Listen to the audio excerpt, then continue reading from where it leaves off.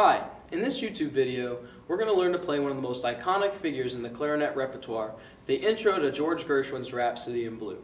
The most important misconception about this piece is that the glissando is uh, facilitated by the fingers doing fancy stuff, when really it's the embouchure that controls most of the pitch things. The fingers are simply sliding in and off the keys um, as you go slowly up it. But the embouchure is going to control your pitch, it's going to control the duration of the glissando, and it's going to, it's going to dictate the end note as well. Um, so from the top it sounds like this.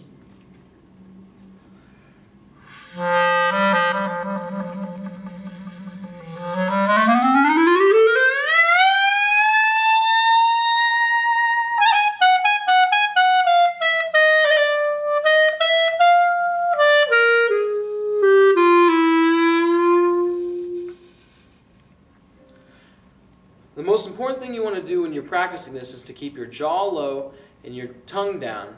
And if you keep that relaxed embouchure, that's going to help you uh, slide in between the two notes easier. Um, the other most important thing to remember is that between F and G, between A and B, you're not only uncovering tone holes, but there's also a pad that you need to slowly lift off of its setting. Um, if you lift it up too quickly, it's going to sound uh, not as smooth, and people are going to notice the two notes there. So between F and G, you want to make sure that you lift that pad up slowly.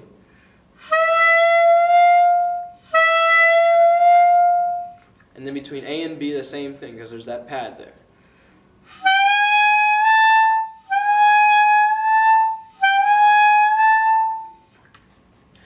Um, other than that, the other thing you want to practice when you're doing this is to start with smaller and smaller intervals, um, say seconds and thirds, before you practice the entire scale. So if you want to practice this, go up and down between, say, D and E to start with.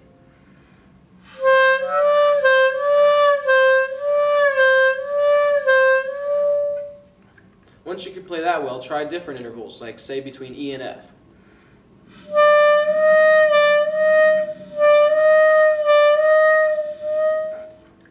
And then again, make sure to practice between F and G and A to B because that's where you have to slowly lift that pad up.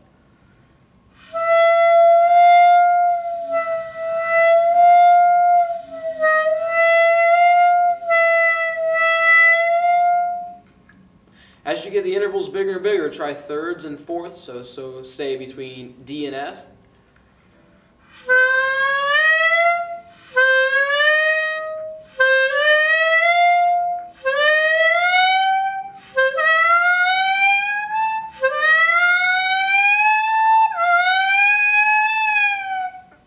You want to practice going up and down as well in the gliss because going down is harder, but in the end, it's going to help you be able to go up quicker and it's going to keep it more stable as you go along.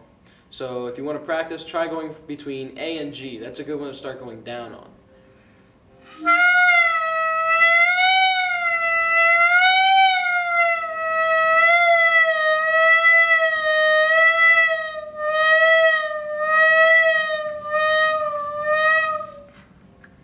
Once you're able to go up and down like that, really simple, try doing the whole thing, starting on D.